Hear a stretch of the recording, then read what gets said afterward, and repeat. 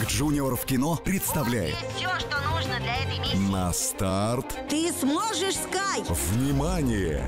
Вот что значит реактивная скорость. Вперед! Щенячий патруль. Улетная помощь в кино с 2 декабря.